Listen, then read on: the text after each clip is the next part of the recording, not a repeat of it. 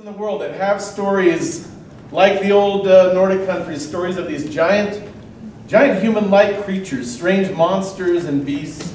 And uh, yeah, the old Viking lands, that's one of those places, but it's not the only place. And another place that has stories like that is right here, right down the road, a place called Dead Man's Hole.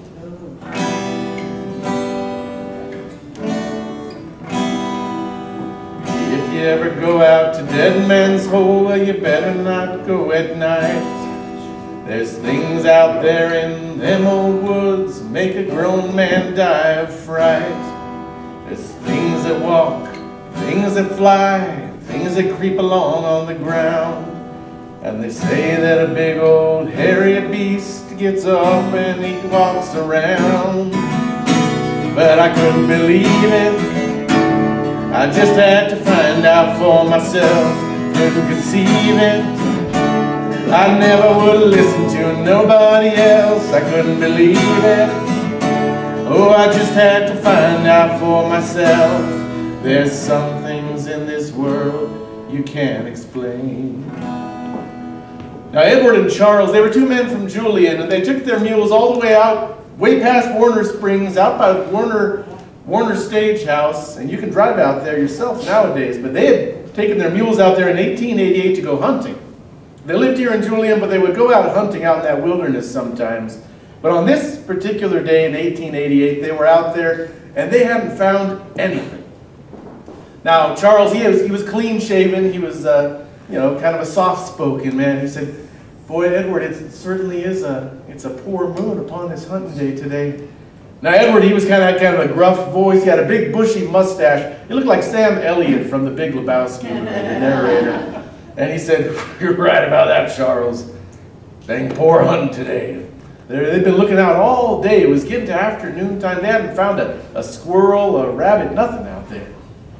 Now, Edward, he said, I'm sure it must be them blasting down in the mines back home in Julian, scared off all the critters. Charles, he said, yes, that's quite a distinct possibility. Charles said, what do you think? Shall we pack up our mules? Shall we head on back home to Julian? Edward said, I ain't heading home empty-handed. This is our home, Charles. This is our home. We can't go back. We got to feed our families. We got to take care of them. We, we got to find and he kind of looked around. There's got to be somewhere we can find a critter. And, and he looked all around. Their mules were drinking from a, a spring right there. He looked around and then he saw, kind of off in the distance, the entrance to a dark canyon. He said, look at that. You could barely see inside that canyon. Dark, full of brush and sticks and rocks. And Edward, he said, look at that there canyon over there. I bet there's some kind of critter in there. I bet you we find a big buck deer in that canyon. But Charles, he said, well, are you sure it's, it's, it's going to be getting dark soon? It was winter time. It's going to be getting dark soon. Edward said, well, don't you worry. We don't have to go all the way back to Julian. Look at there in the sand. Look at, you can see the tracks from the, the stagecoach. The stagecoach runs through here, right past this spring. I'm sure just down the road, about four miles, it's uh, Warner Ranch House is down there. We'll spend the night there. We don't have to go all the way back to Julian. It's worth spending an extra night away from home if we can bring some meat back. This is our home. We got to take care of our families.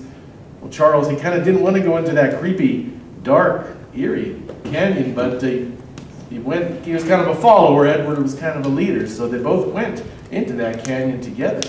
Now they both, they shouldered their guns, get ready to, get ready to shoot anything they see. They're thinking maybe they'll find them, at least some couple of rabbits or something. And so they sort of walked into that canyon, and as soon as they got in between those tall, steep canyon walls, they realized they almost entirely blocked out the light of the sun.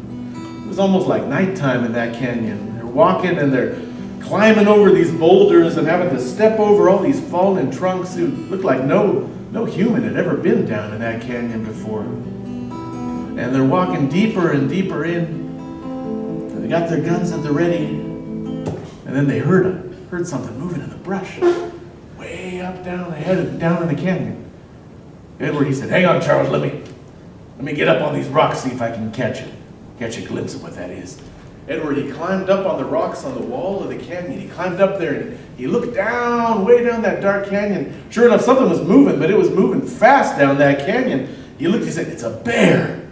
Charles, it's a bear down there. Oh, what a it's gotta be seven foot tall, Charles. Now that bear, it was moving fast. It was almost running through the canyon, climbing, crawling all over the rocks and trunks. And so Edward, he took up his gun. He said, if, if I don't shoot that thing quick, it's going to get away. Picked up his gun and he shoots. Now he didn't hit it. but that critter turned, stopped it, and looked toward him. And when it turned its ugly head, Edward and Charles, they both just gasped. Because that thing's face looked human.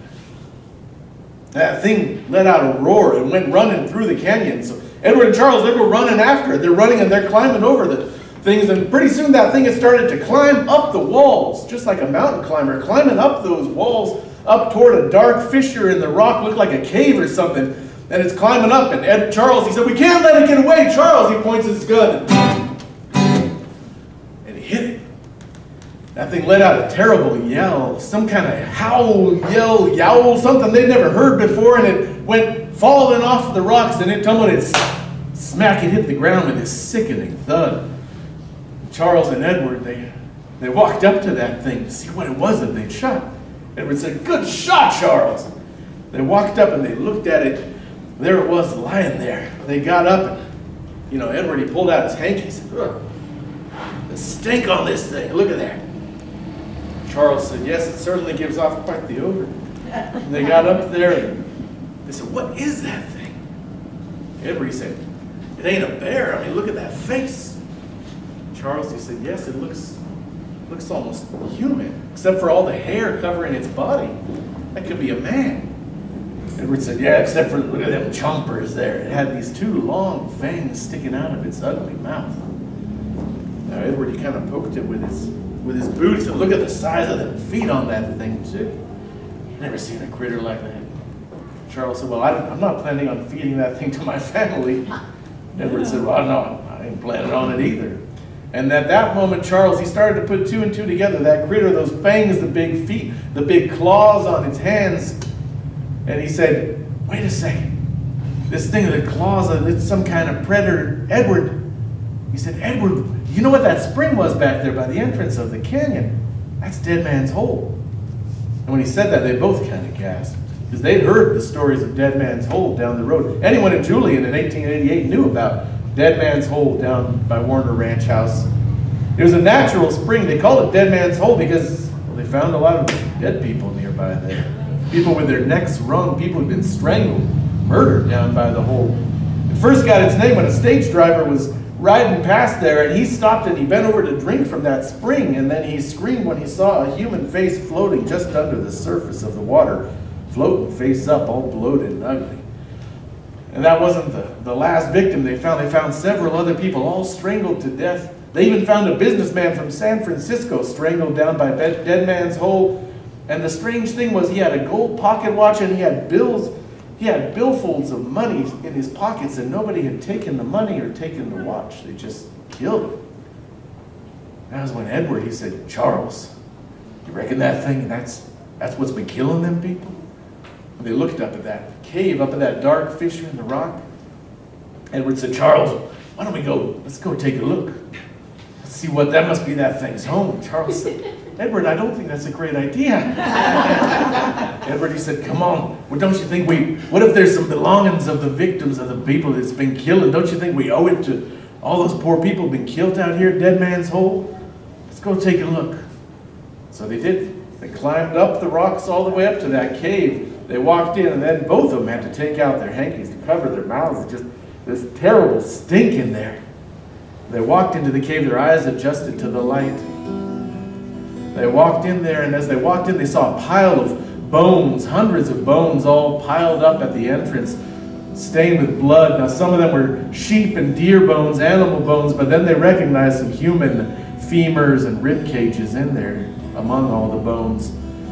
And they walked deeper into the cave, and they saw a big old pile of leaves covered in dirt and filth. That must have been that critter's bed.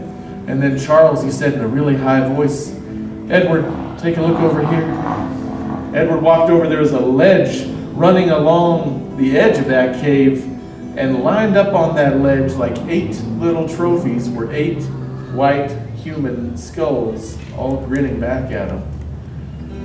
Edward, he looked at Charles, he said, You know what, Charles, that thing, it might have others. It might have a, a mate, it might have children, pups, there might be other males out there too. Charles said, Yes, and when they find their patriarch lying down there where we shot him, Edward said, Charles, you know, maybe you were right to be a little cautious. Maybe it's time to head back to Julian, or at least down to Warner Ranch House. Charles, he said, I think you're right too, because they both realized that this was their home, but it wasn't just their home. That critter thought it was their, its home too. And Charles and Edwards and humans like them, they weren't the only ones who needed to go out and hunt and feed in those mountains.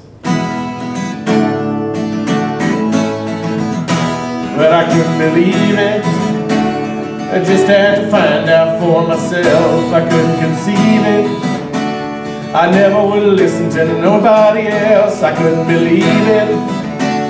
I just had to find out for myself. There's some things in them woods you just can't explain. Now that story of Charles and Edward, that story was printed in the San Diego Union paper in 1888. It was printed. Now later on the paper said part of it was an April Fool's joke, but we don't know what part. Maybe the whole thing was made up. Maybe they just made up the part about them shooting the critter. But that's not the only story about large, tall, hairy, humanoid-like creatures like that around here in this whole area. And we'll tell you more about some other things that our storytelling group is doing about another legend of a long, large, hairy humanoid critter that might still be lurking somewhere out in those woods near here. That's the tale of Dead Man's Hole.